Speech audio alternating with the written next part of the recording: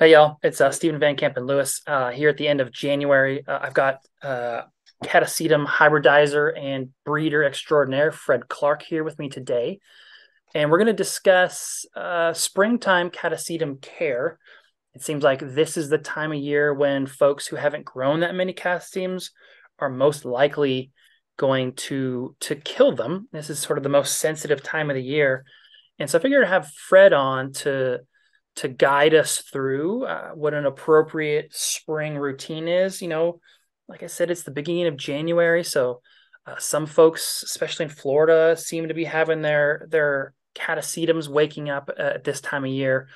Um, and then, just strangely enough, you know, looking around online, it seems like folks in in from from West Virginia to Germany are are having some of their plants waking up too. For some reason, I feel a little left out, and mine are waking up. Actually, let's kind of jump into this where we, we start off where we talk about a wake up routine for healthy plants.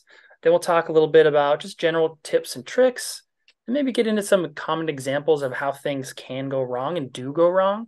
Um, and at the end, we'll we'll chat a little bit about uh, Fred's upcoming list and, and, and what types of things uh, folks who might want to buy from Sunset Valley Orchids uh, can look forward to. So, Fred, how are you? All right, doing good. Good. Nice to be nice to be back. Yeah. Yeah. Yeah. It's uh it's been about a year, I think. Um, yeah. So it has been. I know we yeah, it was about February last time. Yeah. Yeah, and then and then I, I know you get pretty busy around March with the the shows and stuff, right? Well, you know, I have another job, believe it or not. So I do my orchid thing, but I also manage a place called the Flower Fields. And the uh, Flower Fields is uh this is our shirt that we're gonna all our employees are gonna be wearing this year is uh it's a large cut flower operation in southern california in carlsbad. It's near san diego and uh, it's uh, 55 acres of ranunculus. And we grow and sell ranunculus flowers but there's a lot of flowers in bloom and we have the public come tour through the fields. It's a, quite a floral experience. We'll have 250 maybe even 300,000 people will visit uh, each season to the flower fields. And that happens in March, April, and May. And I'm one busy guy uh, right then. So that's, that is interesting uh, that, that orchids are just one of several things that you do. And it seems like there, you're not the only one out there. And maybe I'll make a, a show and a chat with you about your, your other stuff. And, you know, maybe like Frank Smith and some of the other folks, some of the mm-hmm. hybridizers or who are multitaskers, I guess. Yeah. Yeah. All right. So anyway, so catasetum. So most of you, right, should have your catasetums dormant by now or well into dormancy. I, I get a lot of questions right about now from a lot of indoor growers about why their plants aren't dormant.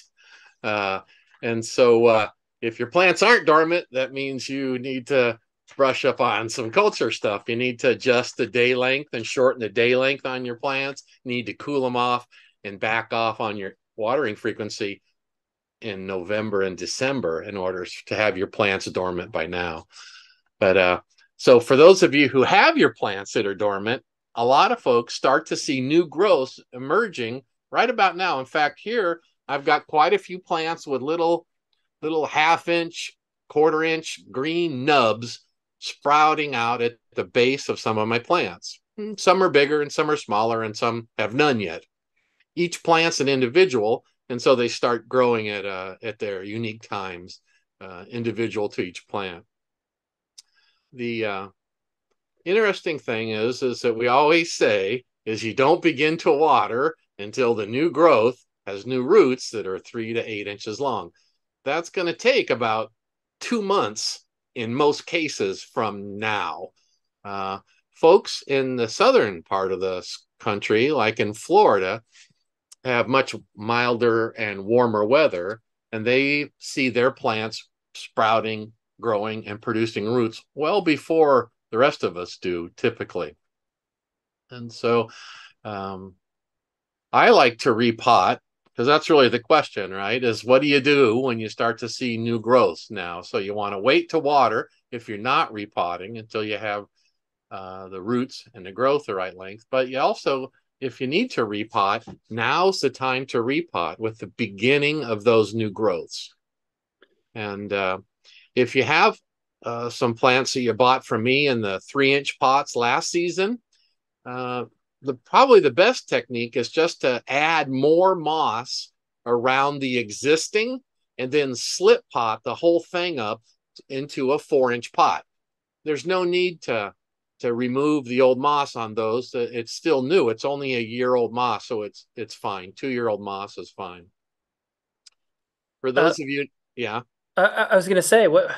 So you know, not so holding off on that watering until the roots are are you know this longish uh, can be difficult, and I, I get that question a lot. It's like, why do we need to do that? Why why don't I just start watering when the new roots are, are starting to poke out?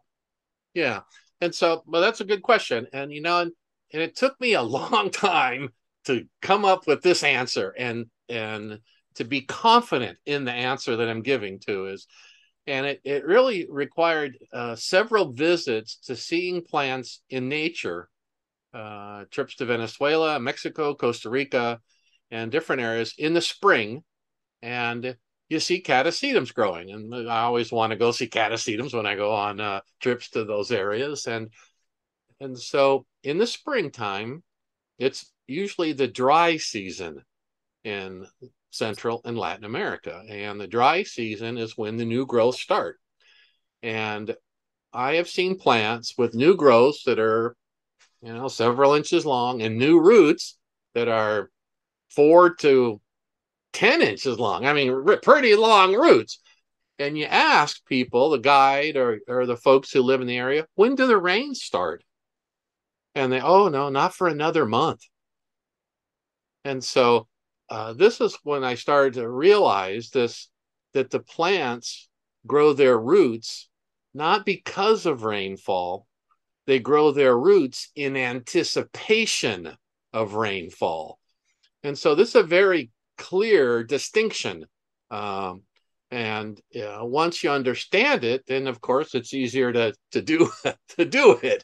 And so yeah. um, Catasetum roots don't overwinter well. Most of the roots uh, stop functioning after the first year. You get a couple roots that hold on, but not many. It's really the new roots that are going to do all the work. The new roots are going to replace the old root system, and you need the new roots because the new roots are going to pick up the moisture and the nutrients.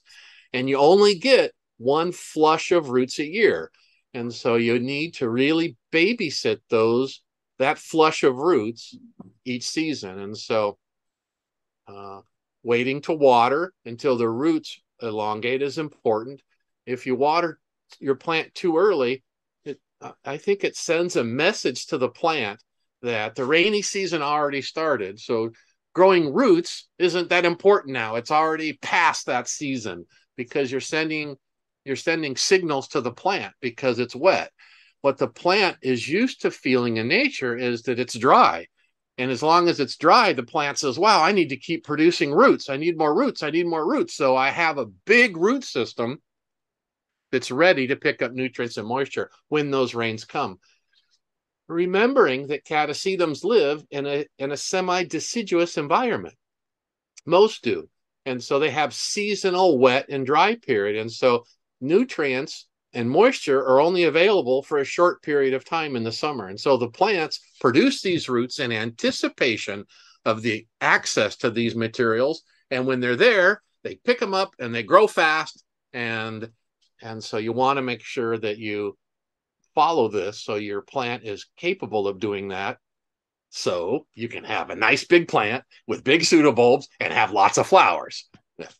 Yeah, and and I do want to really emphasize something you said is, is that you know they're they're just they're really well adapted for throwing those roots out um, before the rain comes, and then if you do water uh, significantly, those roots abort. And like you said, if the, that season's roots abort, you know the other roots from last season are going to die off, and and your plant is going to be in, in, a difficult limp, situation.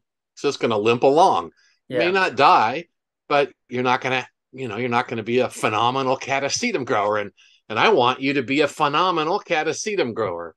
Um, you know, yeah. that's kind of the purpose of all this, right? Is you want to figure out how to grow those plants the best you can so you can bloom them really good. And when you really grow catasetums well, yeah, it's not uncommon to see a plant bloom three, four times a year.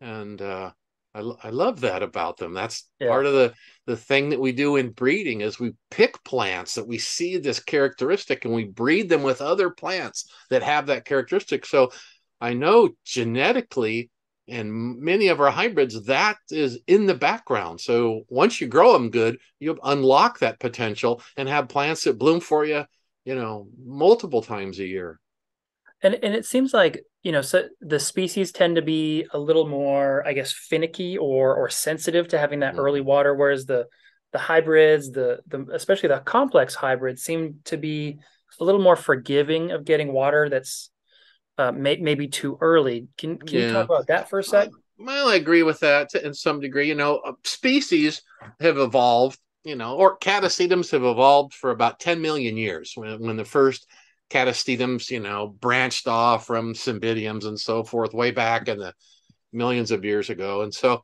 and they've evolved in this uh, environmental conditions. And so species have evolved in a very specific and very narrow kind of environmental conditions. And so you really have to species are always harder to grow than hybrids when you make a hybrid you're combining species from two different environmental conditions and the offspring embody the characteristics of, of both of those uh, growing conditions just like the flowers and the stems and so forth and then when you make another hybrid another hybrid uh, catasetum hybrids are easier to grow than catasetum species just generally um, i would say though that it's really important to watch out for that early watering. Don't don't be in a hurry to water. In fact, you know, if you were sitting there and you were looking at your plant and you go, "Oh, I think I'll water." It's probably better to wait an extra couple weeks than it is to water a couple weeks earlier. It's not going to bother the plant. The plant really doesn't care. The plant's evolved, you know, to to really deal with that. And uh, you know, I was uh, uh, where I guess I was in Venezuela a few years ago, and we saw some plants that had been growing for decades, and you could count the number of pseudobulbs. You know, you could see how old they were, and you could look and you could see over that ten year period that that plant really never suffered a problem with water storage in the pseudobulbs, and so they're they've evolved to deal with the inconsistencies of irrigation that Mother Nature provides. And so if you wait extra week to water your plants or an extra couple weeks, they're perfectly adapted to deal with that. And yeah, and so so to kind of come back to that point of, of different types can be a little more more forgiving or less forgiving. Mm-hmm. You know, it mm-hmm. seems like the, the catasetum species are sort of in the middle with the complex hybrids being much more forgiving. But then the Mormodes and Cycnoches seem to commit suicide on a semi-regular basis, even even for um, for long-time growers. What what do you think it is mm-hmm. about those that make them a little more sensitive, and and how do you kind of overcome that for your collection? Yeah, well, the Mor- Mormodes and uh, species are, you know, they're pretty challenging to grow usually, and a lot of times it's it's not that they're hard to grow; it's just that they're misunderstood how they grow. So I was in uh, um, I was in Guatemala in the Coban area, and there was Cycnoches ventricosum growing on these mm. trees, and it was just hundreds and hundreds of plants on these on these trees in this area and uh, none of the plants had more than two pseudobulbs. Hmm. And these had been growing on these trees for the age of the tree. I know the tree was a hundred year old tree or something. And so, and that, uh, so cycnoches aren't clumping plants where they don't form large clumps and have 10, 15 bulbs in a clump. Well, what they do is they grow uh, they grow up their mature bulb and then the back bulbs rot off or the or they or I don't know if they rot or or if the plant pulls nutrients from the back row back growth to support its growth. I, I'm not exactly sure what's happening there. Sometimes you see rot on the plants and other times you see pseudobulbs shrivel away.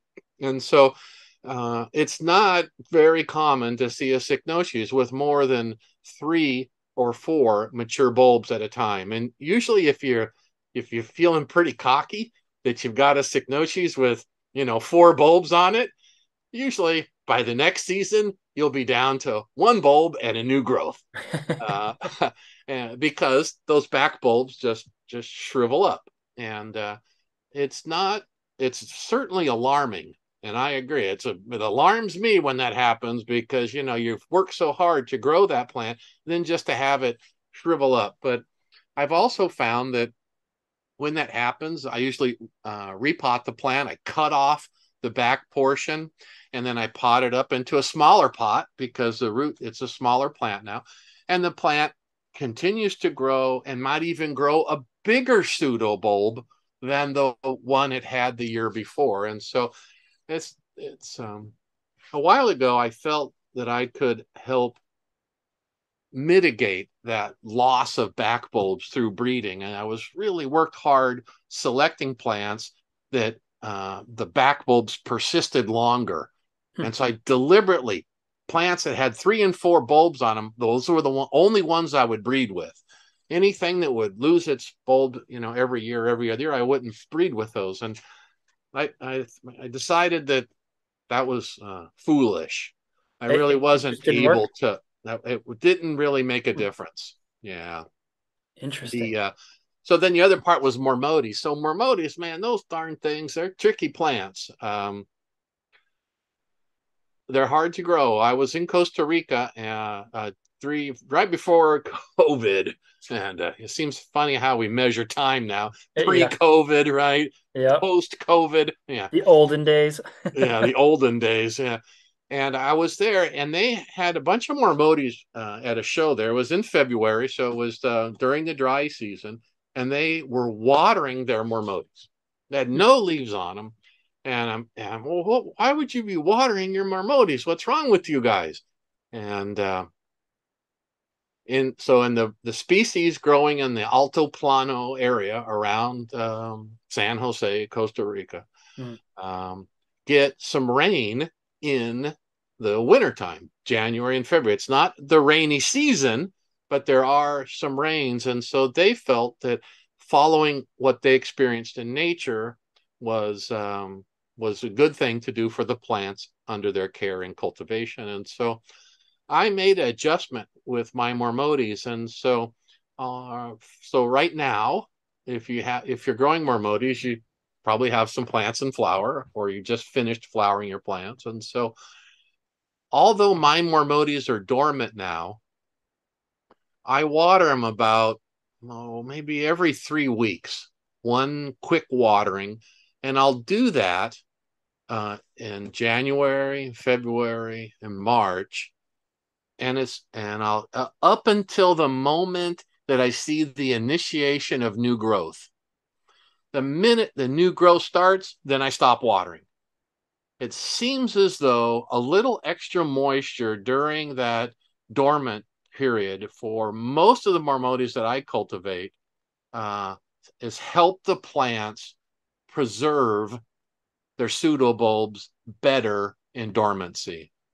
Now, I'm still just still learning about that myself. You know, you know how orchids are. You get on the path, and as soon as you think you know something, they t- they teach you a new lesson. You take a and trip so, to Costa Rica and learn some new stuff. yeah, and so I'm I'm you know, I'm. It looks like it's working to me, and you know, some of you guys I know subscribed to my newsletter and so forth, and you saw the jar idea and your mm-hmm. and your your PET method with the water in the reservoir, and so that although that's hard to have water in the reservoir when the plant is dormant without having water on the roots, there, there seems as though is maybe more what it is is having enough humidity around the plant during dormancy. Um, and so, you know, people who live where it's back east where it's cold, what they got eight inches of snow in Minnesota last night. Yeah. Uh, you know, it's pretty cold. The humidity is really low up there. And so catasetums in nature live where it's always humid. It's it's 60, 70% humidity or more year round. And when the humidity is 10%, it's hard on the plant. So figuring out a way to elevate humidity around the plants can be very beneficial. And this includes, of course, cycnoches and mormodes. and it seems like that's a good jumping off point, really, for to expand on that. So the Mormodes, they seem possibly to like a little extra water in that dormant phase, but we can kind of expand that to to the whole group, really. If if your bulbs are are desiccating excessively, mm-hmm. um, you know, maybe it does make sense to water the old roots, um, even though they might not be as efficient at pulling up as as incorporating water to the rest of the plant to give them that sort of running head start into that that period when they need to be dry when those new roots are coming out which is really energy intensive. Yeah. So i i understand exactly what you're talking about. Uh, so there's a couple reasons why a plant would be desiccating during dormancy okay? One is you didn't harden it off properly at the end of the growing season. Uh, you know uh, in nature the rains just don't stop one day. They taper off. The days get shorter, the nights are cooler, and the rains begin to taper off. This this change in the seasonal condition, right? The the day length is shorter, the shorter, cooler nights, and the less rain send chemical triggers to your plant to tell the plant, hey, the rains are going to end, winter's coming, get ready. You know, a bear feeds a, a lot in the fall to fatten up for its winter rest. So your catasetum's kind of doing the same thing all summer long. They're fattening up, they're plumping up. And then when winter hits, you need to tell them that and have them harden off so they can be prepared for that winter dormancy. And uh, sometimes, though, if they're not hardened off right, then and you cut off the watering, you'll see them shrivel. And other times, if you have a plant and you have really low humidity, um, you know, a lot of people, interestingly, in Canada grow catasetums. They grow great up they're long summer days. It's fantastic how well they grow there.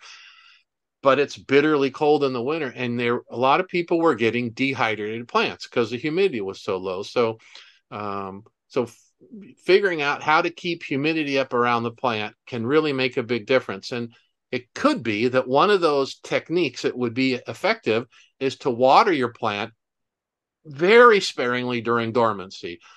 You know, uh, I always recommend that you grow in sphagnum moss. I find that that provides the optimal uh, moisture level around the roots, and also it holds a lot of fertilizer ions right on the root system because catasetums are heavy feeders. When sphagnum moss is really dry, it's hard to re-wet. And so uh, you don't want to try to get the rehydrate the moss when you're watering. Otherwise, it'll be sopping wet for weeks. And so you just pour maybe an ounce of water through the dry uh, moss. And that's usually enough to rehydrate a, a plant that that is uh, uh, showing some you know dehydration and maybe two waterings a week apart usually is enough to plump it up Hey, if you found this video helpful, please uh, click this little button down here on the bottom right. And uh, don't feel obligated to, but if you feel like this was worth a dollar or two, please uh, please click that and add a dollar or two. Um, that will really go a long way to me helping to get a greenhouse right over here, as well as head over to Brazil for an orchid trip in 2024. So all of your orchid donations will go to orchid causes uh, for which I can make additional videos. And as always, thank you very much. It is fascinating how quickly. I mean, it's almost like you can see the bulbs expanding when when mm-hmm. once um, the water hits them after dormancy or during dormancy. Yeah, I took some photos of this of this phenomenon a while ago because it was confusing to me because I'd take a plant and it looked dry and I water it and I'd come back a day later and I go, "Where's that plant that's supposed to be dry? Where who you know, then I'm looking around for Carlos, you know, my my my Carlos Lopez, my work. Carlos, where did you move those plants that were so dry? I didn't touch a thing, you know. and so and uh so then, you know, we all sat down and we said, okay, here's the plant. We're gonna water it once, and then the next day it uh, it is uh, night like a night and day uh, effect. Yeah, it really is. And so uh, uh before we jump into sort of the uh maybe the, the problem situations or or even some some tips and tricks that you you've got in the back of your head that we haven't talked about yet.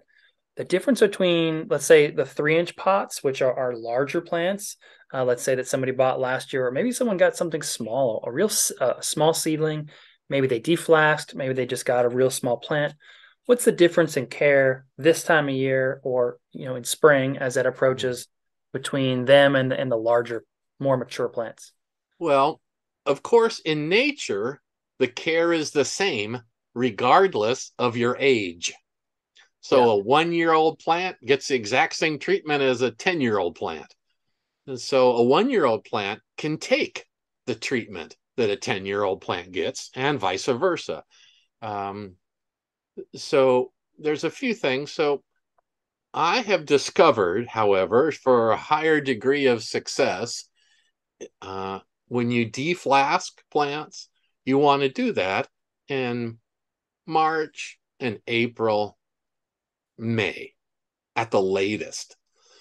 And this is important because the day length is still increasing then, and the chemical messages that the plant's receiving from the seasonal variances is that grow, grow, grow. It's going to be rainy seasons coming. You're going to have lots of nutrients. Then you then you grow June, July, August, September through the summer. You bulk up and you build up your resources that you need for the upcoming dry uh, rest that's going to be occurring. If you pl- if you don't start them early enough, you don't build up enough storage to overwinter properly. So yeah, I say get get stuff out early. If you have a lot of times, and we talked about this last time, right? Was plants from South America? Yeah, is mm-hmm. you get and they're out of cycle, and uh, they can be very challenging to to get back into that to that right cycle. And so uh, here you want to keep in mind always that cycling that is happening with your plants. So if you have uh, very small plants, for example, and uh, right now uh, they're dormant, and if you have the wherewithal, you know, you can manipulate the environment around them to optimize your success. And so one of the really effective techniques is to get an electric heat mat they're inexpensive, they're highly effective, and uh, you can use it in all kinds of ways once you have one. It's a it's a it's a powerful tool when mm. properly implemented. So you can take some young plants, put them on a heat mat, and now with LED lights, you know they're cheap and they're they don't cost much to use. They don't create any heat. You can fool your plant into thinking that summer is coming sooner than what it really is. Just run the lights and and uh, give them you know right now you could fool your plants and to warm them up warm them up to 65 degrees at night and turn the lights on so they've got i don't know 14 hours worth of light right now. And that will encourage those younger plants to start growing sooner. And it's helpful to have your plants start growing sooner because then you get a long summer and the longer the growing season uh, the more you're going to water and fertilize, the larger and bigger the plants are going to get, the better they're going to flower, and uh, you'll be you'll have you know you'll be an awesome grower. So yeah, you can, you can manipulate that, but you can go too far. In the fall, you got to remember they got to go dormant, and you know so catasetums have been around about 10 million years. Human beings, we've been around about 300,000 years. And so in your lifetime, just let me, you know, say this so y'all y'all get it. In your lifetime, you will not be able to change how catasetums have evolved to grow. And so what you really need to figure out is how to grow them like they grow in nature. And that way you can optimize the growth and grow the best plants possible. And and in nature, are the the small seedlings are they are their root systems going to be this long as well, or or would you start watering? Yeah yeah. Okay, that's a good question. So so when I talk about three to usually I don't sell plants that are smaller than those three inch pots that I sell. And so when I talk about that, I'm talking about when you buy a three inch pot from me and the following year you want to have roots that are that are you know three to eight inches long. Well, if you have young little plants coming from flask and they got little pseudobulbs on them that are you know an inch tall, as soon as those roots are three inches long, you could start watering. a large plant that is in a four inch pot, you would wait for the roots to be coming out the drainage holes. So it'd be four to six inches long before you would even think about watering those. Okay. So there it is a little there is a relationship there to plant root plant size, root length, and watering. Sure. All right, Fred, before we jump into sort of some problem cases and, and, some abnormal wake up routines, is there anything else that that you think we should cover and any more tips and tricks uh, for this? Well, repotting, we could, we, we, you know, so repotting right now is usually a good time. If you see new growth, now is a good time to think about repotting if that's necessary. Uh, the new growth tells you how to orient the plant in the pot properly. So you give lots of room in front of the new growth for the new bulbs to grow. If you repot before you see new growth, you don't know where it's going to start sprouting. And so you want to wait to see the new growth so you can orient the plant properly. Um, the uh, in catasetums, now this isn't true for all orchids, but in, in catasetums, cycnoches, mormodes, clowesias, all those new roots follow the new growth. And so when you see new growth, you can rest assured that shortly after that, four to six weeks later, you're going to have new root starting. So if you can repot your plant just at the onset of the new growth, so you know how to orient it, then the plant will grow its new roots into the new media and you won't have any risk of damaging those roots. Mm-hmm. If you repot your plant while the new roots have already come out, it's easy to bust off those green root tips accidentally, of course, because you'd never do that deliberately. Uh, and since, as we said earlier, that the plants only grow one flush of roots a season, you want to make sure you don't you don't damage that root system uh, inadvertently because if you do, it really inhibits the plant's ability to grow and flourish for you. Well, it may not die, but it may not thrive like it could have. Yeah, and and snapping off a few of those a few of those new roots is not ideal, but you know, if you've got a whole bunch coming out and you're repotting and you're snapping a whole bunch, you know, you're kind of in yeah. trouble. And, well, and you think about a root, you know, so so how long will a root be? And so if that root's going to be a foot long, two feet long, and you break it off, and you're only going to have, I don't know, 10 roots or 15 roots on a plant, and you break one off, ugh, that's a and you break two off three off you know next thing you know it's a 10 15 20% reduction in your plant's ability to to pick up moisture and nutrients over its lifetime because of those broken roots. And you know you want to give up 15% of your plant's ability to grow? I don't. Yeah so you, yeah. you can you, you could even uh that'd be a funny experiment where you kind of intentionally snap off some roots and see see if you can measure how how yeah how how much smaller the the new growth is, a new bulb is at the end of the year. There's a scientist in you coming out. Yeah. Torture the plants for science. Uh, right, right. Torture the plants for science. Yeah. yeah. The uh, and uh, we know it does. We know from our own mistakes that it does that it does inhibit. It would be interesting to quantify that mm-hmm. some way. So, Fred, we, you know, I, I, want to jump into some sort of some of the more common um, abnormal wake up routines, and we covered one of the ones I want to discuss, which is really, you know, covering the importance of, of keeping those back bulbs fat-ish uh, and getting the giving the plant a good run up to the when that that that new growth is coming out, so that it has the resources to uh, to put out that new growth. What happens if if maybe you didn't maybe maybe you you kept with the old mantra of dry, dry, dry, no matter what, and, your plant used up too much of those resources during the dormant period, and maybe it doesn't have enough. Maybe those bulbs are really shriveled, and I've done some some experiments, and they can get real shriveled.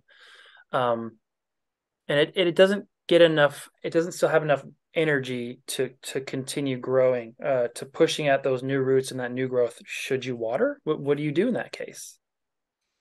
Well, usually they get all shriveled up like that because they don't have any roots either, and so, um, you know, it's it, it's uh, through a series of previous errors led you to that situation, and so trying to recover from that is um, is really your is really your question, and so. Yeah. you know the, the, probably the best technique is to you know take some sphagnum moss, uh, get it a little moist, wring it out, put it in a plastic bag, throw the bulb in the plastic bag with that moss, and zip it shut, and put it in a nice warm location. That'll increase the humidity around it. Often on older bulbs like the ones you're talking about, the eyes that are down near the base uh, have, have all attempted to grow or have failed in some way.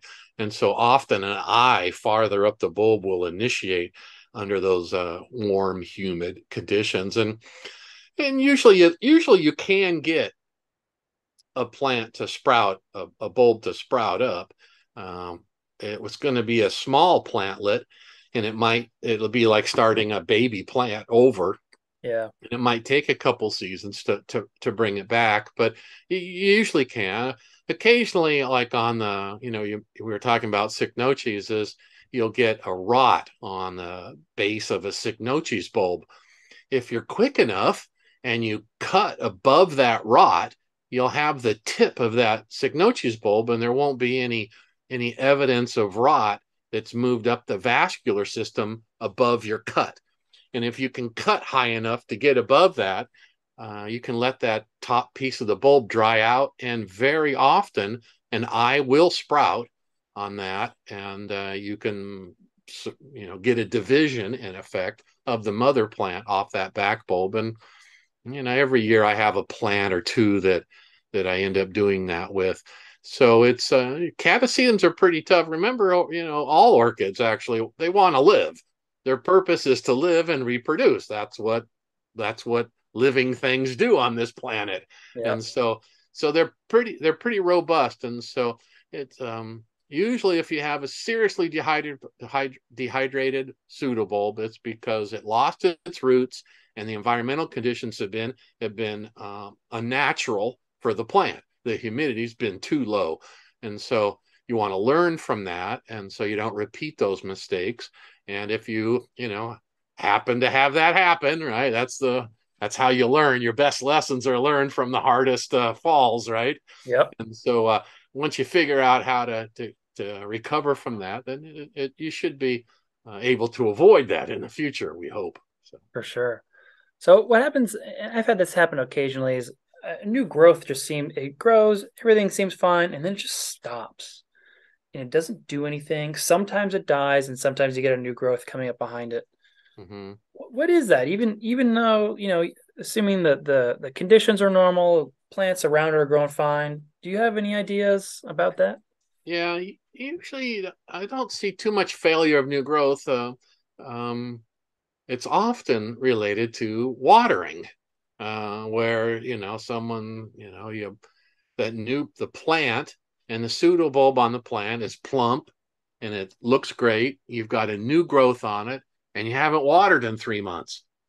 And so you're thinking, I haven't watered in three. This poor plant must need water, and and that's the folly of uh, the folly of thinking that way is that you end up watering and it you water when the plant doesn't need it, and uh, you might be creating a situation where there's water around the base of the plant that the plant's not familiar with feeling.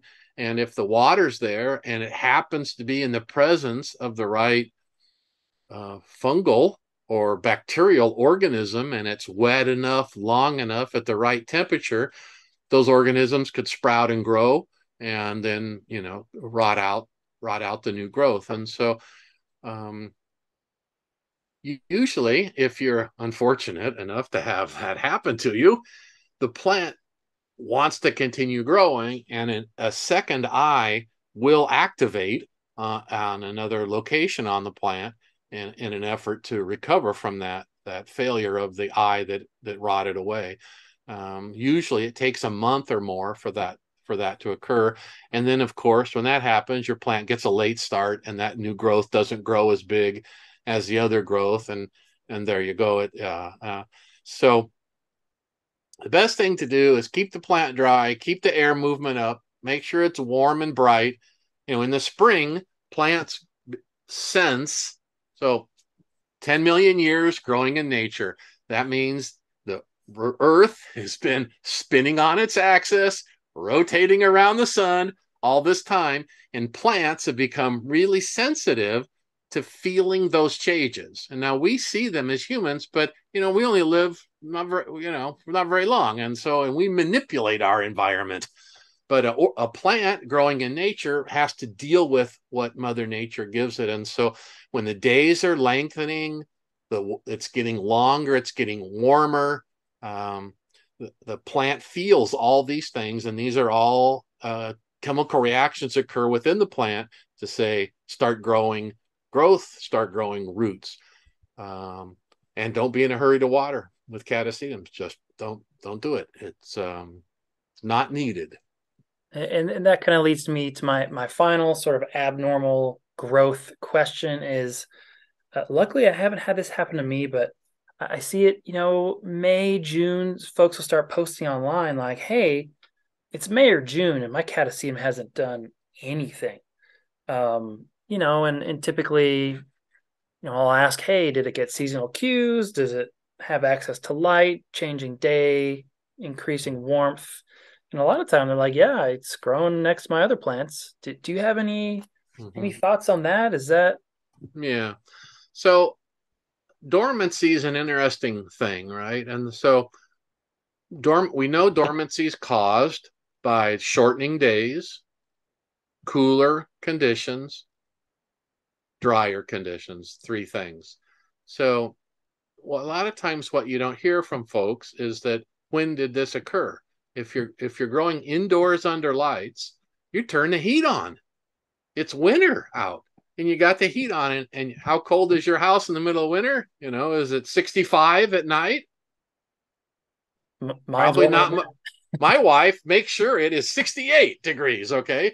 That's pretty warm. My greenhouse for my catasetums is 55 at night. If I had catasetums indoors at 58 degrees and the lights were on for for 14 hours a day, the plant's not receiving the signals to go dormant properly. And so if you're and and there's another thing about dormancy and I can't speak to this from a scientific point of view, but it does appear though that there is like an internal biological clock that's ticking off inside of a dormant bulb. And so it needs a certain amount, each species has its own requirement for this dormant period. But there's also like, you know, it, you need two months of dormancy. And so whenever you start the dormancy trigger begins in the plant, it needs two months before it starts growing. So if you've kept your plant vegetative, non dormant plant into February or March, it's not going to start growing again for several months later because that clock or whatever that is mm. inside the plant has to tick off in conjunction with the day length and the warmth and so forth. And so it's really important to get your plants to go dormant in the fall so you can get them to sleep on time so they can wake up early in spring and have a long spring and a long summer so you can grow big plants that have lots of opportunities to flower for you and flourish. And so i think usually when a plant doesn't wake up early spring is because something something has fooled it into thinking that it's not time to wake up yet. So again, the real question the follow-up to that would be is in july or august what's your plant doing now and if the answer is, oh, it's starting to sprout a new growth, then the, you know, the, you know, if it walks like a duck, quacks like a duck, you know, it's a duck. And so that means it didn't get the dormancy triggers early enough. Um, and, and so it just seems it's another one of those issue cultural issues that a mistake in the past has repercussions in the future or the present uh, in in this case yeah. if it's may or june it's and it's tr- it's hard to learn you know that's the thing about orchids and that's what's awesome about orchid growers right? Is that we've taken on a, a pretty serious challenge and when it comes to growing plants and there's a time you know there's a, a when you do something and you see the result there can be six or seven months of time that elapses and it's hard to correlate what's happening today with something that occurred six months ago. And so uh, it's uh, it's tricky, and so that's why you know stuff like what we're talking about right now, Stephen. And thank you for having these questions like this is really helpful. I think to help open people's eyes up to this and and get them a, get them ahead of the curve and recognizing what they're doing in October plays a huge role in what's going to be happening in in May and June. Absolutely. I mean, the the whole goal of, of my channel is to help people kill fewer orchids than I had to kill to to get the same amount of knowledge, you know, and um, you know, discussions like this are, are, are really important, I think, for for that and and getting folks to understand that catasetums are, they're not that tricky. They they really aren't. And then once you get a few timing tricks down, easy peasy. They're you know you don't even have to look at them for like three or four months sometimes, and just leave them alone. right. You can go on vacation. Yeah, yeah, yeah, exactly. You don't have to bother your neighbors with taking care of your catasetums while you're gone in the winter. Yeah. Yeah. In fact, you have to protect them if you do, because your, your neighbors will want to water them and kill them. but so now, now that we've gotten most of the spring culture stuff out of the way, I, I want to ask you about uh, what can folks look forward to uh, on the the 2023 Catasetum list from Sunset Valley Orchids. What uh, what's your focus for this year?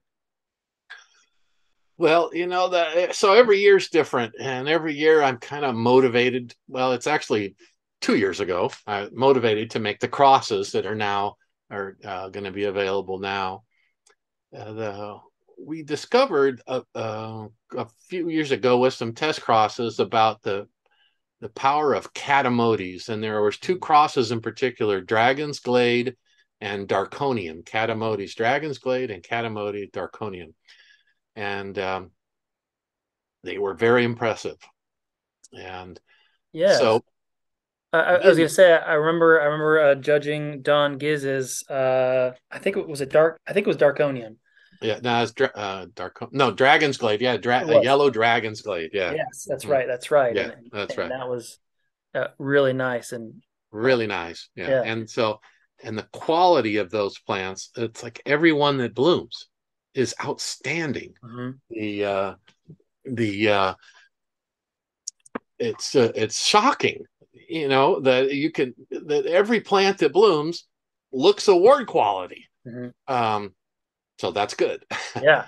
uh, and so the after I made those first crosses, and we got there was a lot of awards given to Dragon's Glade. Six or seven awards were given, and then uh, the Darconium cross that, that was a year behind. I didn't sell very many of those because I wanted to see them all bloom. And the only one was exhibited, and it received a first class certificate. That's cool. Yeah, pretty cool. One plant exhibited. So that's that's how Fredclarkeara After Dark was. The first plant exhibited got a first class certificate. And uh, the next nine that went on, I think, did as well. And so these new uh, Catamodes, these Darconium and Dragon's Glade, are the next year we will have crosses made with those. And uh, we had a few last season. They didn't last very long. The the keen hobbyist dialed those up the minute they they hit the hit the website. Mm-hmm. Um, but there's some huge potential with with those for next season. We've also done a fair bit more with some species. I think there's some really exciting species on there, like Catasetum evanii, mm-hmm. which everyone's like, "Don't what's that?" Go, well, go look it up. You're yes. going to be blown away. Absolutely. Yeah the uh, there's Catasetum denticulatum once again, and there's Catasetum tigrinum, which are fantastic species. I think there's also Pileatum on there too. Um, there's a the new Galeandras, the greenwoodianas. I had those last year. Mm-hmm. They're going to be this year too, and you know, um, there's going to be about hundred plants of those. Believe it or not, in the plug trays this fall, six or seven of those plants bloomed. Alba. Oh, wow. Okay. Now, I talked to some friends down in Mexico about Galeandra, mm-hmm. Greenwoodiana, being Alba. And they go, well, we live where they grow in nature, you know, and no, we've never seen an Alba before in nature. Huh. So there was about probably 20 or 30 plants bloomed, and six of those guys came out alba. So, yeah, I'm not, I've got six of them. I don't need any more. I have a funny feeling there's going to be some alba greenwoodianas that are going to be out in out in the world and those are one in a million kind of plants that's really cool you just lucked out with those genetics on on your just, plants and just flat out luck yeah that's yeah awesome. Yeah uh, and it's going to be a broad list this year there, we have more than normal uh, in terms of the variety of offerings so that's going to be impressive. There's a continuation of the Cycnoches breeding that we've been doing. You know, the I produced those ones that had the black the black wings with the yellow and the burgundy spots. So we've got some Cycnoches that might be getting close to the black black swan orchids. Yeah. So there's That's a the, chance the Mary that, Gleason crosses. Yeah, and then the ones with the dark wings and the uh, uh, dark swans hybrids with those too. Yeah, mm-hmm. so those are coming. Um, uh, that that's exciting to hear. Good. Uh, that's really exciting to hear. Like denticulatum's back on the list because I I want to try my hand at that one again. Um, I had a nice one throughout a female flower one time. I pollinated and a squirrel ate it. Uh, uh, I haven't been able to find them since, so I'm excited. You know, the uh, tigrinum is another. They're just outstanding. They're miniatures, right? They're mm-hmm. small plants, and they bloom three, four times a year. They, uh, you know, we're talking about dimorphic orchids here. And so, for our, our, listeners, you know, you grow catasetums, yeah, and we know they have male and female flowers and all that, and that's part of the allure and the and the, the you know fun talking about them and so forth. It's also very frustrating trying to breed them. Yeah. Because you've got to have male and female flowers. And so it's been about five years since I've had denticulatum or tigrinum available for sale because I've just had nothing but male flowers for all those years. And so three three years ago we had a batch of plants produce female flowers and I had saved pollen uh, from the males and Bobbing, now we're gonna we're gonna have these guys again. So Excellent. So buy them while you can because it's not something that you can reliably produce every year. Yeah, that's great. Um, what you know, I, I asked you a couple years uh, some some of the the primary hybrids for keys that I've I just fell in love with years and years ago. I'm going to ask you again if you have any uh, interest in remaking those. It was a you know uh, Jean E. Monnier, uh, mm. Martha Clarke, and Kevin Clarke. Yeah. Uh, any any of those coming back around?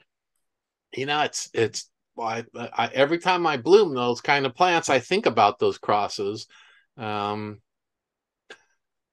but it's uh, it's been hard to want to go back mm-hmm. to those. I guess uh, as a hybridizer, you're you're also kind of like an artist a little bit, and so if you did that art before, and, and to want to do it again um, would mean that you have to have something u- unique and special about about it. So it's not an exact repeat. And so i haven't i haven't quite gotten there yet. So yeah. the crosses that have derived from those like the martha clarkes and the next the providence the hybrid called providence oh they're just the flowers are twice as big mm-hmm as as those uh, early primaries and they flower three four times a year and so so well i don't know maybe i'll remake yeah fair enough yeah the the, the Cycnoche species are hard to keep alive. I, I, you know, we talked about that, and so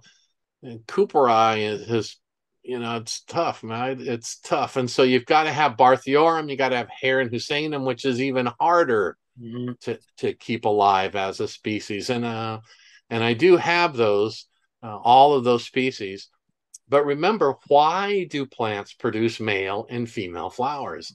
Large, robust plants are female mm-hmm. because you have to have the wherewithal to carry seed pods to term through the dry season and the dormant period. So I must confess to you that I haven't been growing my my Herrenhusanums and Barthiorums that good lately because all I'm getting is male flowers. I haven't had any big, robust plants to get female flowers to be able to make some of those. I would I would like to make Martha. It is my wife's namesake, Martha Clarke. Yeah. Barthiorum and Herrenhusanum. And oh, it's such an amazing cross. And I just that that's the one I would I would make first, but I have yet to see a Barthiorum female flower or a, a Herrenhusanum female flower, and it's been been a couple years now, so maybe yeah. three or four years. All right.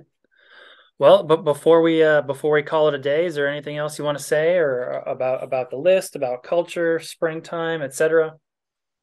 Well, you know, this is exciting time. Catasetums are fun to grow. You know, they're just starting. You know, they've been asleep and they've been just doing nothing, and all of a sudden now they're going to be doubling their size every couple weeks. And uh, remember they're they're very seasonal and so when those plants are putting on those growths and are in active growth make sure you're watering and fertilizing enough to push those growths and to beef them up you can really influence the size of your plant.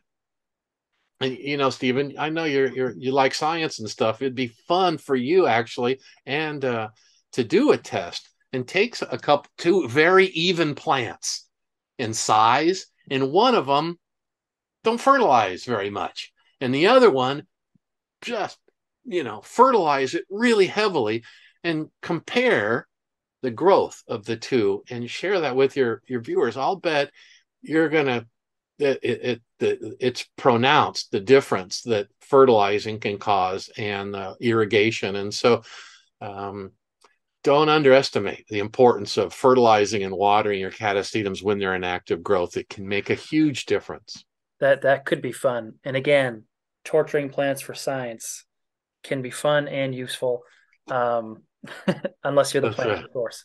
That's right. but uh, Fred, I appreciate it as always. Um, your your chats are incredibly informative, and and uh, I I think we've I think we've saved a lot of plants with with this. There you go. That's right. And of course, I, I, look forward to to the list coming out soon, and uh, I'm I know I'll be grabbing some from there as well. All right. Cool. Okay. Well, fantastic. Yeah. Thank you all for listening in. Thanks for for hosting me. It's been uh, fantastic. I always enjoy uh, enjoy our time together, and uh, maybe I'll be in Texas and I'll see you next summer. Absolutely. All right. See everybody. Yeah. Bye bye.